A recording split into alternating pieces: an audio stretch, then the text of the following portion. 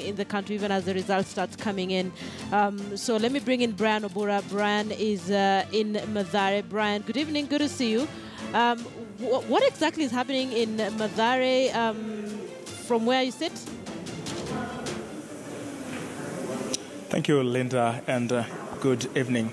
Now, we're coming through from St. Teresa's Girls High School, which is the constituency tallying center of Mathare constituency. Now, it's from here where the final tallying is taking place, and if Brian, you're just able to get us a short date, is the returning officer, Bwana Japheth Mololo, who is announcing the results as they come in. So far, uh, in our constituency with some 171 polling stations. They have been able to receive uh, 76 of uh, those forms 34As from those polling stations. Although we have information that uh, there are those polling stations which did not transmit uh, their form 34As from the polling uh, station. A good number of them, although voting is no longer taking place, so it's not clear. Uh, it's not very clear why that happened, although we have a number of those uh, POs still on the line on this other end where we see they are still coming in, a long queue outside of them bringing in the votes. Uh, just to give you an update of what it stands or what it looks like out here in Mathare constituency. Um, within a constituency of some 115,559 uh, voters, we've had about uh, we've had about um, 12,000 to a total of 12,471 total votes cast today, and we also had Uhuru Kenyatta, President Uhuru Kenyatta, who is in the lead with some 12,270.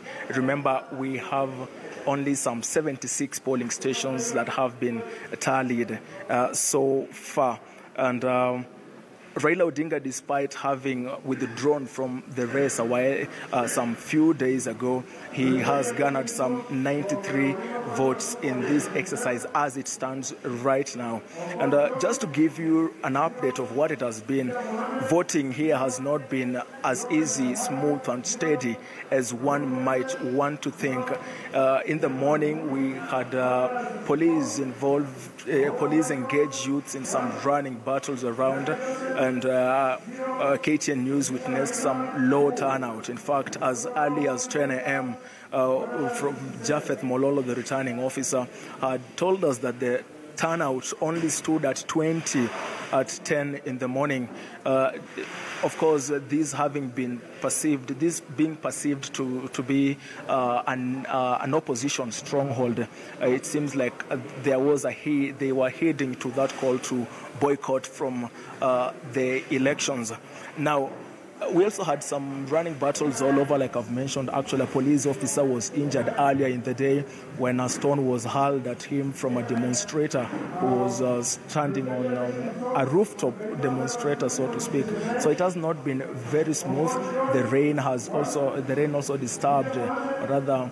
Um, uh, disturbed those who wanted to vote, who were eagerly willing uh, to vote. We had roads being barricaded, and uh, so far so good. We can say that uh, what is happening right now at, in Mathare constituency, final tallying is taking place, but those were the events of the day. Not an easy day, so to speak. Linda.